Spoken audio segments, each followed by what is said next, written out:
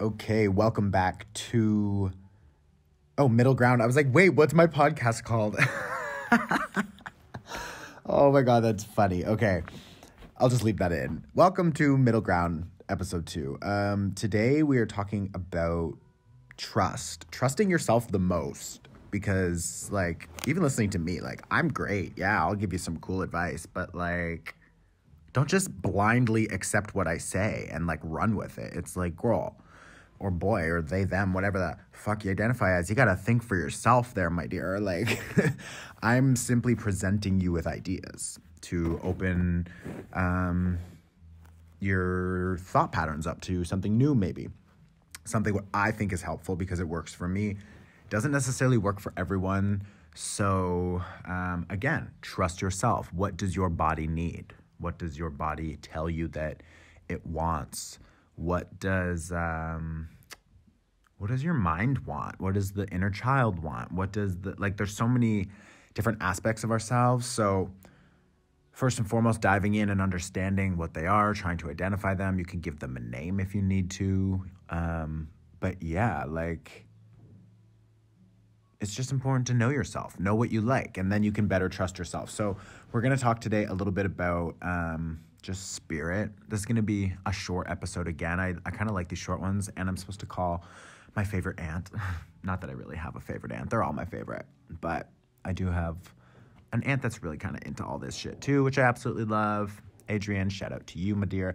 And yeah, um, I'm going to talk to her soon, so I want to keep this kind of short and sweet. But we're going to talk about spirit um, is in you. God is you. You are God. We are it. They are us. And um, yeah, trusting that because we've been living in a place of like where organized religion and government, when government and religion were hand in hand and all these other things, it's like they want you to think that the answers are outside of you so that you have to get your answers from them. Like I could very easily trust me. I see some of the people that come to me for readings and the comments online and stuff like I could um I could use this um like people have a perspective about me and I could use that to my advantage. I could use that for evil type thing. You know what I mean? I could convince people that I have the answers and they don't have they don't you guys don't have access to the answers. Like you have to come to me. I am the only one who has the answers. And on top of that, you have to pay me for it. It's like that comes with a weird responsibility. And people have exploited that for a very long time. And it's completely false. Trust me, because I was one of those people who was like, oh my God, I have to go to this psychic to get these answers. And I used to like weirdly heavily rely on them because I had no, I guess, self trust, I guess, or self sense of self, um, which everybody goes through at some point in time. And then as soon as you start, you know, trusting yourself in little ways, it's almost like you want to test it out. Like, okay, I'm going to work with my guides, and this is what you should do is like make it a little game. It's like, okay, I will trust you. I'll give you three days, or I'll give you a week, or I'll give you a month, however you feel works. Could be an hour. Um, ask them to do something. Like, what does a trust exercise look like to you? Um, you know, I'm going to only follow my intuition for two days straight and bring me something that excites me. And I will then trust that this is something that I can do moving forward. You know what I mean? Like little things. Um, and it, it begins to grow. It's like a muscle. Like you flex the muscle, you go to the gym, you work your muscles, they get bigger. The trust grows stronger um, because it's really just your intuition and you're just now oh there's this like navigation device inside of me there's this message inside of me that i can either share i can keep i can ignore i can push down um, which you know then gets into our emotions which is also emotion just energy in motion emotions so like when we feel the sadness or we feel the anger or we feel the joy or we feel whatever not letting ourselves experience that like but no, babe, you need to experience that and you need to feel it. Like sadness, you need to feel the sadness. You need to understand the sadness. That's when it's going to click. And then on the other side, you'll have this like, wow. Oh, that was actually such a nice deep breath, too. I love a good deep breath. I have like asthma. And yeah, I sometimes I can't take a deep breath. But, anyways, enough about me. Um, yeah, it's just this thing that you've got to trust and you've got to learn how to navigate it. And once you've got that, like, then you know, okay, how am I going to get my answer? I'm just going to like quiet myself. I'm going to feel it. I'm going to know it. I'm going to hear it. I'm going to find it. It will come. And you'll begin to learn how to still your mind and stilling stilling your mind i don't know if that sounds right but you know what i mean when you still your mind um, people think this about meditation too that meditation is just this like nothingness it's like meditation is not nothingness like you can do transcendental meditation where you get to like higher states of whatever but like no like meditation is simply thoughts coming through your mind and you not responding it's like oh can't believe josh did that you don't need to be like yeah, fuck Josh. Well, what the fuck? I guess I see it, but like, I don't know why he would still do that. He shouldn't have said that. Although, would I have maybe said that? Like, you have this conversation with yourself, trying to work through that thought now. Don't don't work through any thought. It's just, can't believe Josh did that, and then you're like, wow. And you just let it go, and then it passes through. You know what I mean? Uh, I need to go to the fucking store because I forgot X Y Z. It's like okay, and it just passes through. You don't say, no, I'll go to the store later. I'm meditating now. And you start a conversation with yourself, and then your head, and all of a sudden now you're sidetracked. It's like, so meditation in stilling your mind, these are easy ways for you to then create quiet. And when you can create quiet, and it doesn't need to necessarily be quiet in the atmosphere, like you can find quiet on a bus, on a busy bus taking transportation. You could find it with a child screaming. You can you can find it in different ways at certain times when you need it. Um, however, quiet is just, it's an energy of stillness that allows you to then hear what you feel like you need to hear in that moment to then guide you, you know, down the path of least resistance. And then when you feel that or you hear that, you need to follow it. And that's when you need to trust yourself and say, okay, maybe this doesn't logically make sense to me, but I'm going to do it and yeah, if I told my parents or I told someone else that, that was going to be my decision or whatever, like sometimes, you know, it's like I'm going to sell everything. I'm going to just follow this voice inside me and I want to set up this new life for myself. And everyone around you is like, what do you mean? Oh my God. You've been working at this job for so long. What about all your things? My mom was, I remember when I was going to move to Europe, my mom was like, what about your couch? I'm like, my what? She's like, what about your couch, Christopher? My couch. Girl, like, you're clearly a Virgo She's like, What about your structure? Don't you need like nice furniture? Like, how are you going to make sure you have a comfortable home? And I have a Cancer moon, so I really do want a comfortable home. And the tarot card that I pulled today is also a Four of Wands, which is a comfortable home. So, like, yeah, I really do love that, but I also am a Libra rising Gemini sun. So I'm mutable air, cardinal air. Cardinal is like, let's go. And my Cancer moon is also cardinal, which is also let's go and my Gemini is a fucking child. It's the first air sign of the zodiac, so it's like literally infant thoughts and ideas and perspectives and joy and adventure and like communication and learning and siblings and neighbors and all these beautiful things. And I really do feel that I am all of those beautiful things, absolutely. but like I am yeah, I am such a Gemini Libra Cancer and like here we are, boom. So I trust that. And I've seen other people trust that. And then when they do it and they get to this place of like, oh my God, now I'm on the other side of it. And I'm glad I trusted because it is 10 times better over here. And I'm telling you because I lived it. I'm telling you because I'm sitting right now at the fucking Salvaterra Country and Spa House in fucking Portugal. And it is like, I'm in a fucking jungle right now with a Turkish bath and a massage. Like, this is just, yeah, girl, it's better on the other side.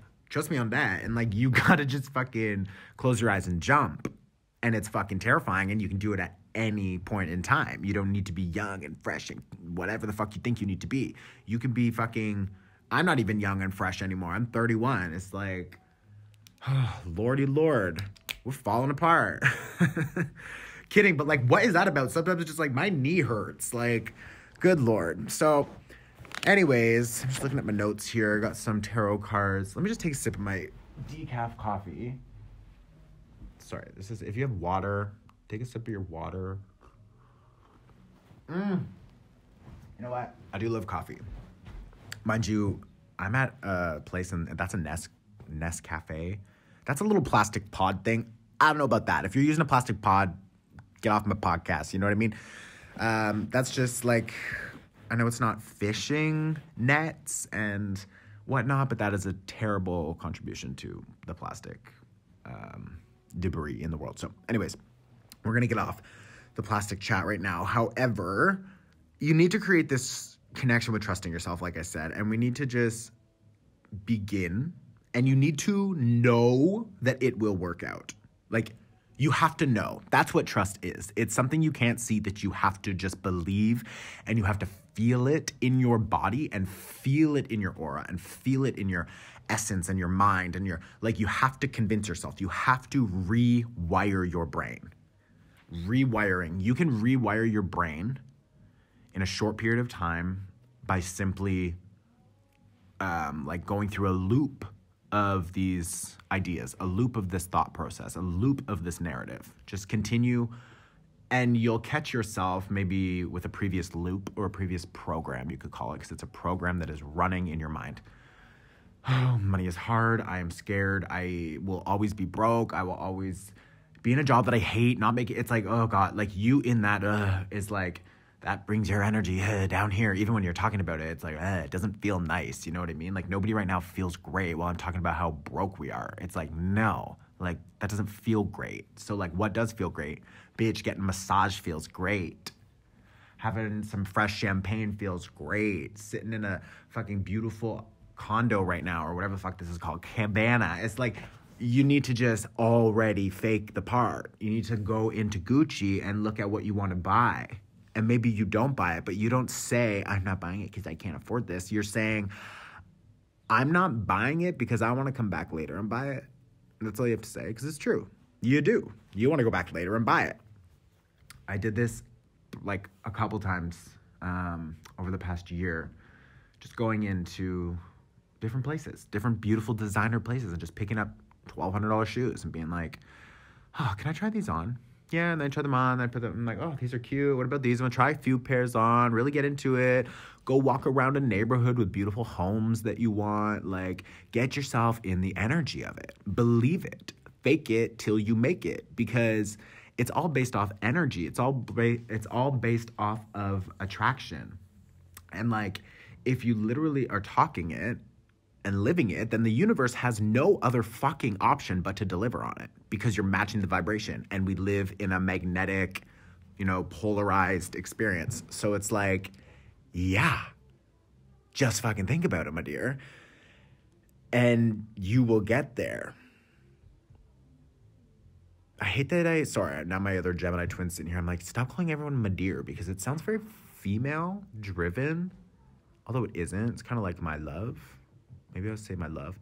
But the thought process here is like, I want more straight men to listen to this too, or even gay guys, but like, whatever. Maybe that's not my demographic. I accept what I'm given, you know? I'm open to receive. So, yeah, you've got to create this connection with self. Um, play that little game with your guides if you can. I feel though there's an important, like, okay, 2020 was a shit show, right? For everyone shit show. And it's still a shit show. And, um, you know, a lot of people are still going through a really hard time. And there's a lot of anger right now. There's a lot of anger in the collective energy. Feel that anger. Give yourself space to feel that anger. Do it in healthy ways. Throw ice cubes, scream in a pillow, take a bath and scream underwater. Like, do what you got to do to get the anger out. Write a letter and light it on fire. Just move the energy, move the emotion, right? And and feel it, sit in it, experience it, but trust that you'll come out of the other side, which you will. And when you do, you'll come out in a different way. I have, true, I actually have the new moon in Scorpio, was the oracle card that I pulled, and it says work through your fears. It's a Scorpio card. So Scorpio is fixed emotion. So we kind of talked about this earlier where emotion is literally energy in motion through the body. It's us literally feeling an energy. So um, the energy of fear, for example. I don't know if this will work out. I'm scared. I laughed so hard when this card fell out because today I'm talking about trust and it literally says work through your fears. And like fear like we're taught fear. We're taught limiting beliefs. A child doesn't have limiting beliefs. You literally pick those up from someone or somewhere even subconsciously or consciously, but like that is just living in this program deep in your subconscious mind, which is also Scorpio energy. Scorpio is ruled by Pluto. Pluto is like not only death and decay, like Scorpio, but Pluto takes it one step further. It's like when things start to compose and things start to rot and things start to get to the like, it turns to mold and then the mold turns to something else and it begins to like, it's like, like pulling it up it will pull everything up because it has to. Because if you don't, if you don't get the last little bit of the root in the bottom of the fucking barrel or wherever it is in our souls where these traumas or these ancestral traumas or these nightmares, heartbreaks, fears, these survival mentalities, where these survival instincts live, you need to pull them up. If you miss a part of it, it will come back. You cannot not feel it. You have to. You have to sit in it. You have to cry it out. You have to scream it out and get it out of your body because that is when, like a Rubik's Cube, and you'll feel it. You'll feel your breath change after. You'll feel potentially a release or a conscious shift I'm not sure if you can like it took a while for me to really start understanding what it feels like but like i can now consciously when i'm like when i have shifted into a new consciousness i can i notice it. So like you will after you dig all of that up and rip it all up these old programs you will then be able to release. You'll feel that shift that conscious shift. And then within a day or two you'll probably be just feeling lighter and better. So, going through that, we then move into this Four of Wands, which is foundation. This is what I'm talking about. This is the new programs. So, the new programs we now talk about are I am worthy. I am worthy of being a fucking millionaire because I am a beautiful person who wants to do nice things for other people and I want to help others learn and provide. And I want to be community driven and organized. And I want to be inclusive and accessible and diverse. And I want multiple people's opinions involved. I want to create a village where we make food and a, and a retreat space and an eco-friendly hotel space like these are things that i want to do personally and i am sitting in that understanding and belief system that i know it will happen because it literally will happen. It has to. That is the law of the universe. We attract what we feel. Misery loves company, while abundance loves generosity. And trust me, there's. Uh, yeah, you'll meet other people that are great in your loop or in your fucking ring or whatever you want to call it. But like, it's oh, this is gonna sound kind of ugly. Uh, this is gonna sound kind of ugly. I already hear it coming out, but I do want to just say it. Like there is a reason it's called the one percent because only one percent of people really want to um, focus their attention and energy onto a specific task to manifest it into existence and then move through the next one. Like only a certain, a very small amount, maybe it's bigger than 1%, but they call it the 1%. Like those people work their ass off nonstop, directed towards their vision. Not all of them. Again, this is like there's a whole system of like oppression that is also built into the one percent, and you know, like the owners of fucking Walmart and all these terrible like Chick Fil A and all that shit. I'm sure they're up there too. That's not. These are not the people I'm talking about. I'm not talking about dirty money. I'm not talking about dirty money. I'm talking about like real, clean, honest money, and it's like the resources, the equity, everything that you build as an individual, like you need to have in mind that this is going to be a generous system of some kind that you're going to include other people and pay them fairly and share wealth and and allow access and all these other things. But like in order to get there there really is only like you know a small percentage of people that are willing to work on it day in and day out. And that includes working on themselves internally. You have to do the work. You cannot be doing only the external manifestation work, but not doing the internal shifts that need to happen. You have to remove these programs so that you can sustain and protect and preserve what you're building as well. Because if you are building all of this externally, but the internal, these shifts on an emotional maturity, on a self understanding, self reflection, self control, like if that is not catching up or staying in line with what's manifesting on the outside, what's on the outside will consume you and you will go crazy and you will lose it. Or you will you will always have fears of losing it, you will fuck something up or you'll be making weird decisions based off scarcity mindset, based off this idea that you don't have enough and that we need to control this now because it's like it's like that energy is not even protective. That energy is desperate, which attracts more situations to be desperate in. It's like if you really want to fall in love and you're just focusing on trying to meet someone or you want to make some money and you're focusing on how broke you are. You're gonna be broke and heartbroken for a fucking minute. Like, no, no, no. You need to focus on how happy you are. You met someone that makes you feel however you need to feel. And don't get fixated. Again, you have to trust that you will find it. You have to trust that this will come to you because it does and it will. It may not come to you in the way you thought or in the form that you thought or when you thought, but like it'll show up eventually.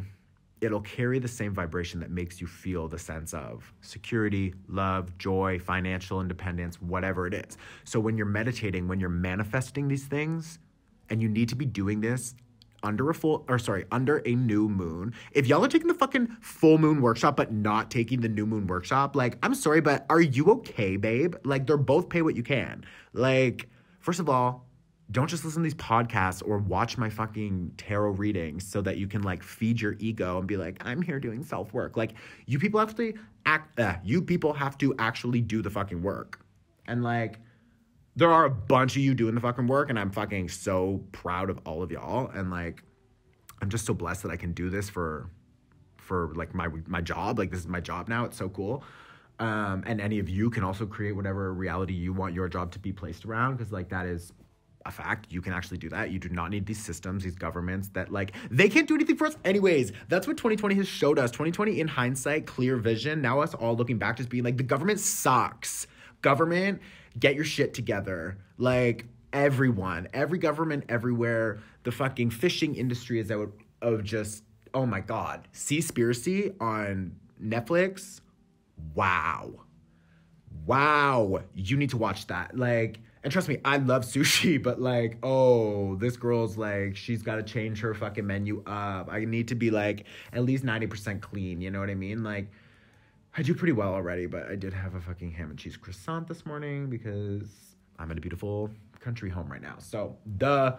Anyways, um, it's crazy, you guys. The universe will arrange and rearrange things to match your new vibration and that means you have to let go of your old vibration and everything that you manifested in that old vibration, which is why a lot of people are now feeling so confused and there's so much chaos, but there's so much potential in chaos.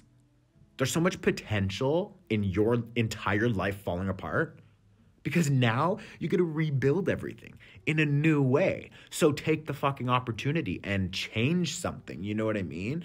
Like your external world matched your old vibration, if you've been doing the work, if you've been trying to change, if you've been wanting better things in your life, then the universe has seen that and has watched you do the work. And now they're like, okay, well, here we go. We're going to pick up the snow globe, we're going to shake it, and then we're going to put it back down.